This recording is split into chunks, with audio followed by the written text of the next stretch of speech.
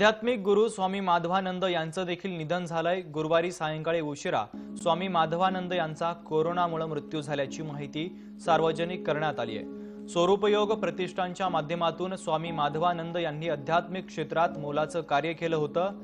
स्वरूपयोग प्रतिष्ठानच्या माध्यमातून आध्यात्मिक मार्गदर्शन करणारे स्वामी माधवानंद यांचं निधन झालं असून त्यामुळे स्वामीजींच्या शिष्यांना तीव्र दुःख झालंय.